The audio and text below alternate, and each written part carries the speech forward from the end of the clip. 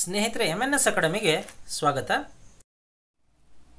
ಸ್ನೇಹಿತರೆ, ಇದೇ ಮೊದಲನೇ ಸಾರಿ ನೀವು ನಮ್ಮ ಚಾನಲ್ಗೆ ಭೇಟಿ ನೀಡ್ತಾ ಇದ್ದರೆ ನಮ್ಮ ಚಾನಲನ್ನು ಸಬ್ಸ್ಕ್ರೈಬ್ ಆಗಿ ಹಾಗೆ ಪಕ್ಕದಲ್ಲಿರ್ತಕ್ಕಂಥ ಬೆಲ್ ಬಟನನ್ನು ಕ್ಲಿಕ್ ಮಾಡಿದ್ರೆ ನಾವು ಮಾಡ್ತಕ್ಕಂಥ ಎಲ್ಲ ಹೊಸ ವಿಡಿಯೋಗಳ ನೋಟಿಫಿಕೇಷನ್ ನಿಮಗೆ ತಲುಪತ್ತೆ. ಹಾಗೆ ನಮ್ಮ ಚಾನಲ್ನ ಪ್ಲೇಲಿಸ್ಟ್ನಲ್ಲಿ ಹಲವಾರು ವಿಡಿಯೋಗಳಿದೆ. ಆ ವಿಡಿಯೋಗಳನ್ನೆಲ್ಲ ನೀವು ನೋಡಿ ಅಂತ ಹೇಳ್ತಾ ಸ್ನೇಹಿತರೆ, ದಿನಾಂಕ ಇಪ್ಪತ್ತೊಂದು ಆರು ಎರಡು ಸಾವಿರದ ಇಪ್ಪತ್ತು ಹಾಗೆ ಇಪ್ಪತ್ತೆರಡು ಆರು ಎರಡು ಸಾವಿರದ ಇಪ್ಪತ್ತರ ಪ್ರಚಲಿತ ಘಟನೆಗಳ ಪ್ರಮುಖ ವಿದ್ಯಮಾನವನ್ನು ಈ ವಿಡಿಯೋದಲ್ಲಿ ಚರ್ಚೆ ಮಾಡೋಣ. ಈ ವಿಡಿಯೋವನ್ನು ಕೊನೆವರೆಗೂ ನೋಡಿ. ಹಾಗೆ ವಿಡಿಯೋ ಇಷ್ಟ ಆದರೆ ವಿಡಿಯೋವನ್ನು ಲೈಕ್ ಮಾಡಿ, ನಿಮ್ಮ ಸ್ನೇಹಿತರೊಂದಿಗೆ ಶೇರ್ ಮಾಡಿ. ಹಾಗೆ ನಿಮ್ಮ ಅಮೂಲ್ಯವಾದ ಸಲಹೆಗಳನ್ನು ನಮಗೆ ಕಾಮೆಂಟ್ ರೂಪದಲ್ಲಿ ನೀಡಿ. ಹಾಗೆ ಸ್ನೇಹಿತರೆ, ಈ ವಿಡಿಯೋದ ಕೊನೆಯಲ್ಲಿ ನಾವು ಈ ಪ್ರಚಲಿತ ಘಟನೆಗೆ ಸಂಬಂಧಪಟ್ಟಂಥ ಎರಡು ಪ್ರಶ್ನೆಗಳನ್ನು ಕೇಳಿದ್ದೇವೆ. ನೀವು ಈ ವಿಡಿಯೋವನ್ನು ಸಂಪೂರ್ಣವಾಗಿ ನೋಡಿದ್ರೆ ಆ ಎರಡು ಪ್ರಶ್ನೆಗಳಿಗೆ ಉತ್ತರಗಳನ್ನು ಕಮೆಂಟ್ ಮಾಡ್ಬೋದು. ನೀವು ಉತ್ತರಗಳಿಗೆ ಕಮೆಂಟ್ ಮಾಡಿ, ನಿಮ್ಮ ಕಮೆಂಟ್ಗೋಸ್ಕರ ವೆಯ್ಟ್ ಮಾಡ್ತಾ ಇರ್ತೀವಿ ಅಂತ ಹೇಳ್ತಾ. ಮೊದಲನೇ ಪ್ರಶ್ನೆ, ನೂರ ಐವತ್ತು ಬಿಲಿಯನ್ ಮಾರುಕಟ್ಟೆ ಬಂಡವಾಳೀಕರಣವನ್ನು ದಾಟದಂಥ ಮೊದಲ ಭಾರತೀಯ ಕಂಪನಿ ಈ ಕೆಳಗಿನವುಗಳಲ್ಲಿ ಯಾವುದು ಅಂತ ಇದಕ್ಕೆ ಸರಿಯಾದಂಥ ಉತ್ತರ ಆಪ್ಷನ್ ಎರಡು ರಿಲಯನ್ಸ್ ಇಂಡಸ್ಟ್ರಿ ಲಿಮಿಟೆಡ್ ಅಂತೇಳಿ. ಮುಖೇಶ್ ಅಂಬಾನಿ ಒಡೆತನದ ರಿಲಯನ್ಸ್ ಇಂಡಸ್ಟ್ರಿ ಲಿಮಿಟೆಡ್ ಮಾರುಕಟ್ಟೆ ಬಂಡವಾಳೀಕರಣದಲ್ಲಿ ನೂರ ಐವತ್ತು ಬಿಲಿಯನ್ ಎಕ್ಸ್ಕ್ಲೂಸಿವ್ ಕ್ಲಬ್ಗೆ ಪ್ರವೇಶಿಸಿದಂಥ ಮೊದಲ ಭಾರತೀಯ ಕಂಪನಿಯಾಗಿದೆ. ಇನ್ನು ಕಂಪನಿಯ ಷೇರುಗಳು ಜೂನ್ ಹತ್ತೊಂಬತ್ತರಂದು ಬಾಂಬೆ ಸ್ಟಾಕ್ ಎಕ್ಸ್ಚೇಂಜ್ನಲ್ಲಿ ಹೊಸ ಸರ್ವಕಾಲಿಕ ಗರಿಷ್ಠ ಸಾವಿರದ ಏಳ್ನೂರ ಎಂಬತ್ತೆಂಟು ಪಾಯಿಂಟ್ ಆರು ಸೊನ್ನೆಗೆ ತಲುಪಿದವು ನಂತರ ಸಾವಿರದ ಏಳ್ನೂರ ಐವತ್ತೊಂಬತ್ತು ಪಾಯಿಂಟ್ ಐದು ಸೊನ್ನೆಗೆ ಕೊನೆಗೆ ತಲುಪಿತು ಅಂದರೆ ಪ್ರತಿಶತ ಆರಕ್ಕಿಂತಲೂ ಹೆಚ್ಚು. ಈಗ ರಿಲಯನ್ಸ್ ಇಂಡಸ್ಟ್ರಿ ಒಟ್ಟು ನೂರ ಐವತ್ತೊಂದು ಪಾಯಿಂಟ್ ಎರಡು ಬಿಲಿಯನ್ ಅಮೆರಿಕನ್ ಡಾಲರ್ ಮಾರುಕಟ್ಟೆ ಬಂಡವಾಳವನ್ನು ಹೊಂದಿದೆ. ಇನ್ನು ರೂಪಾಯಿ ದೃಷ್ಟಿಯಿಂದ ಹೇಳೋದಾದರೆ, ಇದು ಹನ್ನೊಂದು ಲಕ್ಷ ಕೋಟಿ ರುಗಳ ಮೌಲ್ಯದ ಮೊದಲ ಭಾರತೀಯ ಕಂಪನಿಯಾಗಿದ್ದು, ಇದರೊಂದಿಗೆ ರಿಲಯನ್ಸ್ ಇಂಡಸ್ಟ್ರಿ ಲಿಮಿಟೆಡ್, ಈಗ ವಿಶ್ವದ ಅತ್ಯಮೂಲ್ಯ ಕಂಪನಿಗಳ ಪಟ್ಟಿಯಲ್ಲಿ ಐವತ್ತ ಎಂಟನೇ ಸ್ಥಾನದಲ್ಲಿ ಇದೆ. ಮುಂದಿನ ಪ್ರಶ್ನೆ, ವಿಜ್ಞಾನ ಮತ್ತು ತಂತ್ರಜ್ಞಾನ ಕಾರ್ಯಕ್ರಮ ಯೋಜನೆಯಡಿ ಈ ಕೆಳಗಿನ ಕ್ಷೇತ್ರದಲ್ಲಿ ಸಂಶೋಧನೆ ಮತ್ತು ಅಭಿವೃದ್ಧಿ ಯೋಜನೆಗಳನ್ನು ಉತ್ತೇಜಿಸ, ಉತ್ತೇಜನ ಮಾಡಲಿಕ್ಕೆ ಗಣಿ ಸಚಿವಾಲಯ ಪ್ರಾರಂಭಿಸಿರ್ತಕ್ಕಂಥ ಆನ್ಲೈನ್ ಪೋರ್ಟಲ್ನ ಹೆಸರು ಏನು ಅಂತ ಇದಕ್ಕೆ ಸರಿಯಾದಂಥ ಉತ್ತರ ಆಪ್ಷನ್ ಒಂದು ಸತ್ಯಭಾಮ ಅಂತೇಳಿ. ಹದಿನೈದು ಜೂನ್ರಂದು ಕೇಂದ್ರ ಕಲ್ಲಿದ್ದಲು, ಗಣಿ ಹಾಗೆ ಸಂಸದೀಯ ವ್ಯವಹಾರಗಳ ಸಚಿವರಾದಂಥ ಪ್ರಹ್ಲಾದ್ ಜೋಶಿರವರು ಗಣಿಗಾರಿಕೆ ಸಚಿವಾಲಯದ ವಿಜ್ಞಾನ ಮತ್ತು ತಂತ್ರಜ್ಞಾನ ಕಾರ್ಯಕ್ರಮದ ಯೋಜನೆಯಡಿ ಗಣಿಗಾರಿಕೆ ಮತ್ತು ಖನಿಜ ಕ್ಷೇತ್ರದಲ್ಲಿ ಸಂಶೋಧನೆ ಹಾಗೆ ಅಭಿವೃದ್ಧಿ, ಉತ್ತೇಜಿಸಲಿಕ್ಕೆ ಸತ್ಯಭಾಮ ಎಂಬ ಪೋರ್ಟಲನ್ನು ಪ್ರಾರಂಭ ಮಾಡಿದ್ರು. ಸತ್ಯಭಾಮ ಅಂತಂದರೆ ಗಣಿಗಾರಿಕೆ ಪ್ರಗತಿಯಲ್ಲಿ ಆತ್ಮನಿರ್ಭರ ಭಾರತಕ್ಕೆ ವಿಜ್ಞಾನ ಮತ್ತು ತಂತ್ರಜ್ಞಾನದ ಯೋಜನೆ ಅಂತೇಳಿ. ಅಂದರೆ ಇಂಗ್ಲೀಷಲ್ಲಿ ನೋಡೋದಾದರೆ science and technology Yojana for Atmanirbhar Bharat in mining advancement ಅನ್ನೋದಾಗಿದೆ. ಇನ್ನು ಯೋಜನೆಗಳ ಮೇಲ್ವಿಚಾರಣೆಗೆ ಹಣ ಹಣ ಅಥವಾ ಅನುದಾನದ ಬಳಕೆಯೊಂದಿಗೆ ಯೋಜನಾ ಪ್ರಸ್ತಾಪಗಳನ್ನು ಆನ್ಲೈನ್ನಲ್ಲಿ ಸಲ್ಲಿಸಲಿಕ್ಕೆ ಪೋರ್ಟಲ್ಲು ಅನುಮತಿ ನೀಡುತ್ತೆ. ಇನ್ನು Satyabhama ಪೋರ್ಟಲನ್ನು research dot mines dot government dot in ಮೂಲಕ ಆಕ್ಸೆಸ್ ಮಾಡ್ಬೋದು. ಇದನ್ನು ಗಣಿ ಮಾಹಿತಿ ವಿಭಾಗದ ನಿಕ್, ಅಂದರೆ ರಾಷ್ಟ್ರೀಯ ಮಾಹಿತಿ ಕೇಂದ್ರ ವಿನ್ಯಾಸ ಮಾಡಿದೆ, ಮತ್ತು ಅದರ ಅಭಿವೃದ್ಧಿ ಮಾಡಿದೆ. ಮುಂದಿನ ಪ್ರಶ್ನೆ, ಇಪ್ಪತ್ತು ಜೂನ್ ಎರಡು ಸಾವಿರದ ಇಪ್ಪತ್ತರಂದು ಬಿಡುಗಡೆಯಾದಂಥ ಇತ್ತೀಚಿನ ಫೋರ್ಬ್ಸ್ ರಿಯಲ್ ಟೈಮ್ ಬಿಲೇನಿಯರ್ ಸೂಚ್ಯಂಕದಲ್ಲಿ ಮುಕೇಶ್ ಅಂಬಾನಿರವರ ಸ್ಥಾನ ಏನು ಅಂತ ಇದಕ್ಕೆ ಸರಿಯಾದಂಥ ಉತ್ತರ ಆಪ್ಷನ್ ಎರಡು, ಒಂಬತ್ತನೇ ಸ್ಥಾನ. ಫೋರ್ಬ್ಸ್ ರಿಯಲ್ ಟೈಮ್ ಬಿಲೇನಿಯರ್ ಪಟ್ಟಿಯ ಮಾಹಿತಿ ಪ್ರಕಾರ ರಿಲಯನ್ಸ್ ಇಂಡಸ್ಟ್ರಿಯ ಅಧ್ಯಕ್ಷ, ವ್ಯವಸ್ಥಾಪಕ, ನಿರ್ದೇಶಕ ಮುಕೇಶ್ ಅಂಬಾನಿ ವಿಶ್ವದ ಅಗ್ರ ಹತ್ತು ಶ್ರೀಮಂತ ವ್ಯಕ್ತಿಗಳ ಪಟ್ಟಿಗೆ ಪ್ರವೇಶ ಮಾಡಿದ್ದಾರೆ. ಅಂಬಾನಿರವರ ನಿವ್ವಳ ಮೌಲ್ಯ ಹತ್ತೊಂಬತ್ತು ಜೂನ್ ಎರಡು ಸಾವಿರದ ಇಪ್ಪತ್ತರಂದು ಅರವತ್ನಾಲ್ಕು ಪಾಯಿಂಟ್ ಐದು ಬಿಲಿಯನ್ಗೆ ಏರ್ತು. ಇದರಿಂದಾಗಿ ಅವರು ವಿಶ್ವದ ಒಂಬತ್ತನೇ ಶ್ರೀಮಂತ ವ್ಯಕ್ತಿ ಆಗಿದ್ದಾರೆ ಇನ್ನು ರಿಲಯನ್ಸ್ ಇಂಡಸ್ಟ್ರಿಯ ಷೇರುಗಳು ಜೂನ್ ಹತ್ತೊಂಬತ್ತರಂದು ಬಾಂಬೆ ಸ್ಟಾಕ್ ಎಕ್ಸ್ಚೇಂಜ್ನಲ್ಲಿ ಹೊಸ ಸರ್ವಕಾಲಿಕ ಗರಿಷ್ಠ ಸಾವಿರದ ಏಳ್ನೂರ ಎಂಬತ್ತೆಂಟು ಪಾಯಿಂಟ್ ಆರು ಸೊನ್ನೆಗೆ ತಲುಪಿತು. ಇನ್ನು ಸಾವಿರದ ಏಳ್ನೂರ ಐವತ್ತೊಂಬತ್ತು ಪಾಯಿಂಟ್ ಐದು ಸೊನ್ನೆ ಅಂದರೆ ಪ್ರತಿಶತ ಆರಕ್ಕಿಂತಲೂ ಹೆಚ್ಚು ಕೊನೆಗೊಳ್ಳುವ ಮೊದಲು ಕಂಪನಿಯ ಮಾರುಕಟ್ಟೆ ಬಂಡವಾಳ ಹನ್ನೊಂದು ಟ್ರಿಲಿಯನ್ ರುಗಳನ್ನು ದಾಟಲಿಕ್ಕೆ ಸಹಾಯ ಮಾಡಿತು. ಇನ್ನು ಒಟ್ಟು ನೂರ ಅರವತ್ತು ಬಿಲಿಯನ್ ನಿವ್ವಳ ಮೌಲ್ಯವನ್ನು ಹೊಂದಿರತಕ್ಕಂಥ ಇ ಒ ಜೆಫ್ ಬೇಜೋಸ್ ಅವರು ಇನ್ನೂ ವಿಶ್ವದ ಅತ್ಯಂತ ಶ್ರೀಮಂತ ವ್ಯಕ್ತಿಯಾಗಿದ್ದಾರೆ. ಅವರ ನಂತರದ ಸ್ಥಾನದಲ್ಲಿ ಬಿಲ್ ಗೇಟ್ಸ್ ರವರು ಇದ್ದಾರೆ. ಇನ್ನು ಹಾಗೆ ಮೂರನೇ ಸ್ಥಾನದಲ್ಲಿ ಮಾರ್ಕ್ ಜುಗರ್ಬರ್ಗ್ ತೊಂಬತ್ತು ಪಾಯಿಂಟ್ ಆರು ಬಿಲಿಯನ್ ಇವರು ಮೌಲ್ಯವನ್ನು ಹೊಂದಿದ್ದಾರೆ. ಇನ್ನು ಬ್ಲೂಮ್ಬರ್ಗ್ ಬಿಲಿಯನಿಯರ್ಗಳ ಸೂಚ್ಯಾಂಕವು ವಿಶ್ವದ ಶ್ರೀಮಂತ ಜನರ ದೈನಂದಿನ ಶ್ರೇಯಾಂಕ ಆಗಿದೆ. ಇನ್ನು ನ್ಯೂಯಾರ್ಕ್ನ ಪ್ರತಿ ವಹಿವಾಟಿನ ದಿನದ ಕೊನೆಯಲ್ಲಿ ಈ ಸ್ಟಾಟಿಸ್ಟಿಕ್ಸನ್ನು ಏನು ನವೀಕರಣ ಮಾಡಲಾಗತ್ತೆ.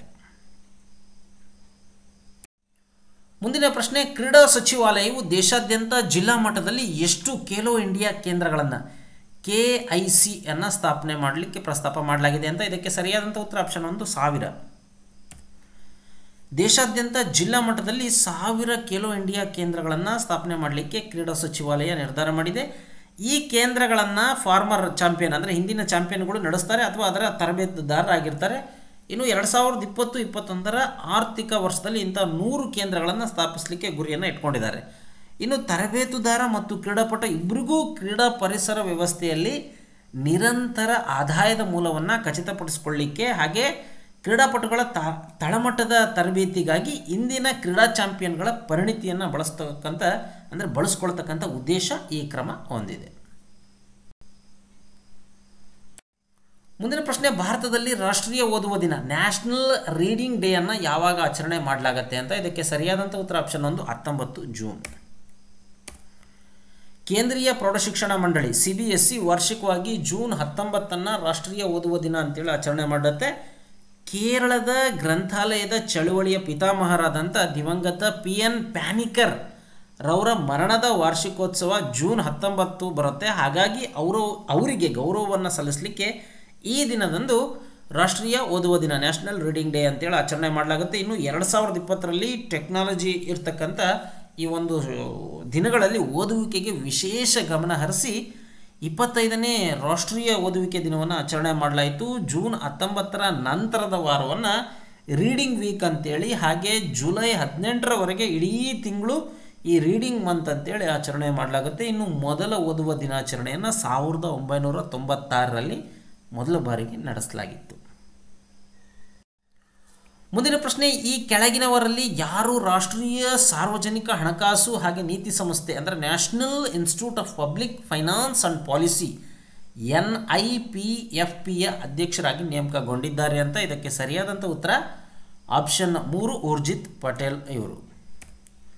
ರಿಸರ್ವ್ ಬ್ಯಾಂಕ್ನ ಮಾಜಿ ಗವರ್ನರ್ ಊರ್ಜಿತ್ ಪಟೇಲ್ ಅವರನ್ನು ರಾಷ್ಟ್ರೀಯ ಸಾರ್ವಜನಿಕ ಹಣಕಾಸು ಹಾಗೆ ನೀತಿ ಸಂಸ್ಥೆ ಅಂದರೆ national institute of public finance and policy ಅಧ್ಯಕ್ಷರಾಗಿ ನೇಮಕ ಮಾಡಲಾಗಿದೆ.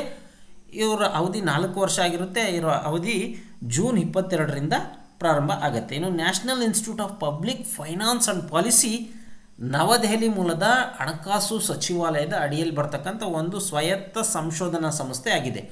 ಇದು ಸಾರ್ವಜನಿಕ ಹಣಕಾಸು ಕುರಿತಂಥ ಸಂಶೋಧನೆಯನ್ನು ನಡೆಸುತ್ತೆ. ಹಾಗೆ ಸಾರ್ವಜನಿಕ ಹಣಕಾಸಿಗೆ ಸಂಬಂಧಿಸಿದ ನೀತಿ ನಿರೂಪಣೆಯ ಪ್ರಕ್ರಿಯೆಗೆ ಕೊಡುಗೆಯನ್ನು ನೀಡತಕ್ಕಂಥ ಒಂದು ಸಂಸ್ಥೆ ಇದು ಆಗಿದೆ. ಮುಂದಿನ ಪ್ರಶ್ನೆ, ಈ ಯಾವ ತಿಂಗಳುಗಳಲ್ಲಿ ಭಾರತ ಯು ಎನ್ ಎಸ್ ಸಿಯ ಅಧ್ಯಕ್ಷರಾಗಿ ಕಾರ್ಯನಿರ್ವಹಿಸಲು ಸಜ್ಜಾಗಿದೆ ಅಂತ ಇದಕ್ಕೆ ಸರಿಯಾದಂಥ ಉತ್ತರ ಆಪ್ಷನ್ ಮೂರು, ಆಗಸ್ಟ್ ಎರಡು ಸಾವಿರದ ಇಪ್ಪತ್ತೊಂದು.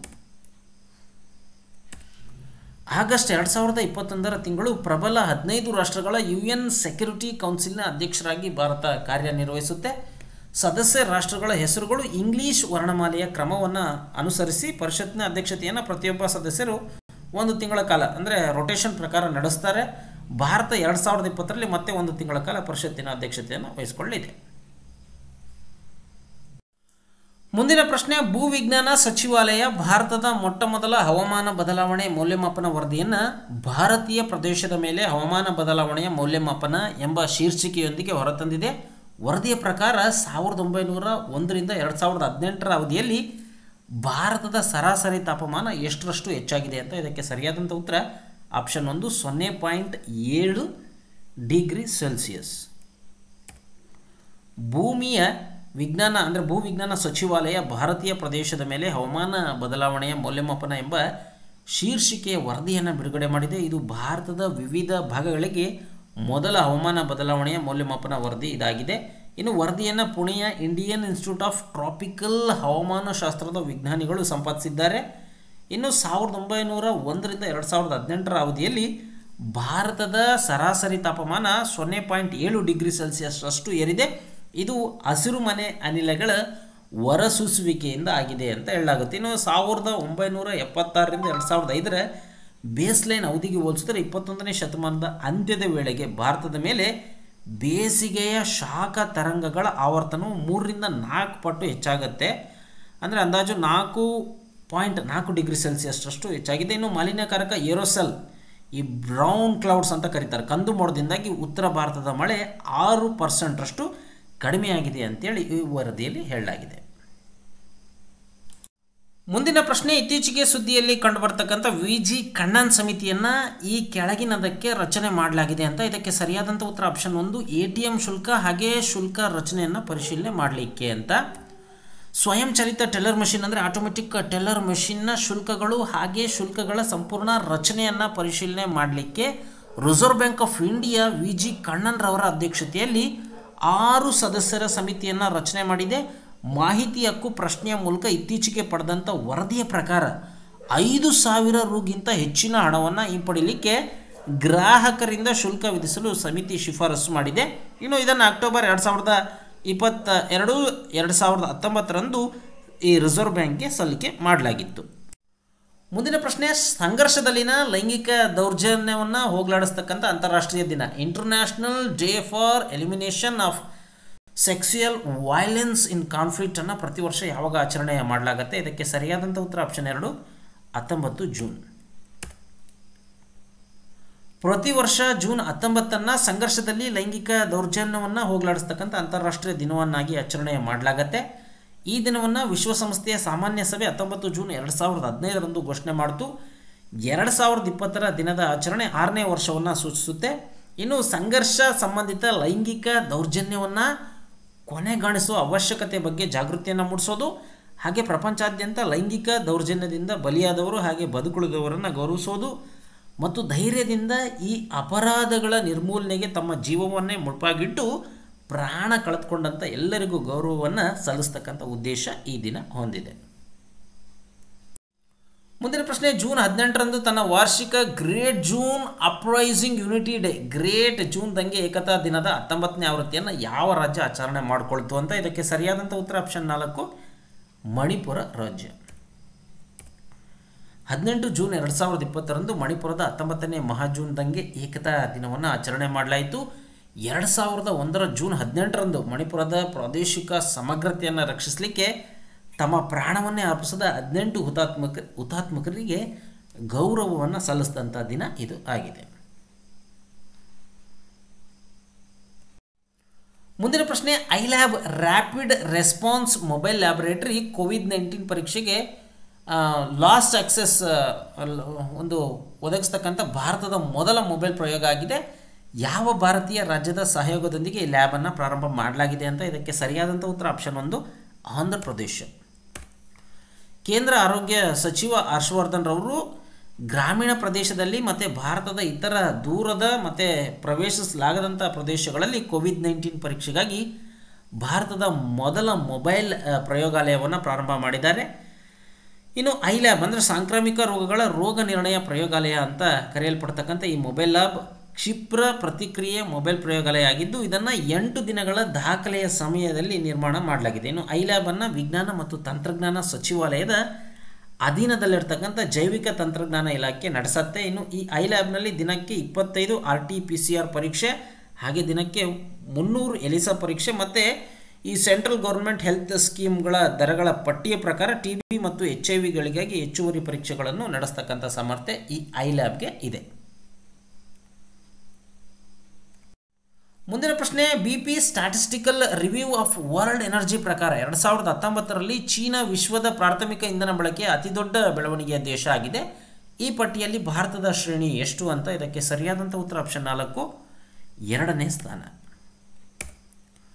ವಿಶ್ವದ ಅತಿದೊಡ್ಡ ಇಂಧನ ಕಂಪನಿಗಳಲ್ಲಿ ಒಂದಾದ ಬಿ ಪಿ ಬಿಡುಗಡೆ ಮಾಡಿದಂಥ B P statistical review of world ಎನರ್ಜಿಯ ಪ್ರಕಾರ ಅರವತ್ತೊಂಬತ್ತನೇ ವಾರ್ಷಿಕ ಆವೃತ್ತಿಯ ಪ್ರಕಾರ ಭಾರತವು ವಿಶ್ವದ ಪ್ರಾಥಮಿಕ ಇಂಧನ ಬಳಕೆಯ ಎರಡನೇ ಅತಿ ದೊಡ್ಡ ಬೆಳವಣಿಗೆಯ ಚಾಲಕ ದೇಶವಾಗಿದೆ. ಪ್ರಸ್ತುತ ಕೋವಿಡ್ ನೈನ್ಟೀನ್ ಸಾಂಕ್ರಾಮಿಕಕ್ಕೆ ಮುಂಚಿತವಾಗಿ ಹೊರಹೊಮ್ಮತಿರ್ತಕ್ಕಂಥ ಜಾಗತಿಕ ಇಂಧನ ಪ್ರವೃತ್ತಿಯನ್ನು ಈ ವರದಿ ತೋರಿಸುತ್ತೆ. ಇನ್ನು ಚೀನಾ ಶಕ್ತಿಯ ಅತಿದೊಡ್ಡ ಚಾಲಕವಾಗಿದ್ದು, ನಿವ್ವಳ ಜಾಗತಿಕ ಬೆಳವಣಿಗೆಯ ಮುಕ್ಕಾಲು ಭಾಗದಷ್ಟು ಪಾಲನ್ನು ಚೀನಾ ಹೊಂದಿದೆ.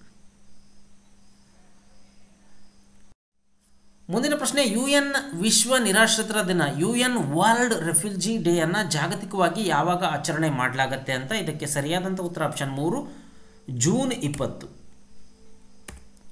ವಿಶ್ವಸಂಸ್ಥೆಯ ನಿರಾಶ್ರಿತರ ಸಂಸ್ಥೆ United Nation refugee agency U N H C R ಇದು ವಿಶ್ವಾದ್ಯಂತ ನಿರಾಶ್ರಿತರ ಪರಿಸ್ಥಿತಿಯ ಬಗ್ಗೆ ಜಾಗೃತಿಯನ್ನು ಮೂಡಿಸಲಿಕ್ಕೆ ಪ್ರತಿ ವರ್ಷ ಜೂನ್ ಇಪ್ಪತ್ತರಂದು ವಿಶ್ವ ನಿರಾಶ್ರಿತರ ದಿನವನ್ನು ಆಯೋಜನೆ ಮಾಡುತ್ತೆ. ಇನ್ನು ಎರಡು ಸಾವಿರದ ಇಪ್ಪತ್ತರ ಯು ಎನ್ ವರ್ಲ್ಡ್ ರೆಫ್ಯೂಜಿ ಡೇಯ ಥೀಮ್ ಅಂತಂದರೆ ಎವೆರಿ ಆಕ್ಷನ್ ಕೌಂಟ್ಸ್ ಅಂತೇಳಿ. Every action counts ಅನ್ನೋದಾಗಿದೆ.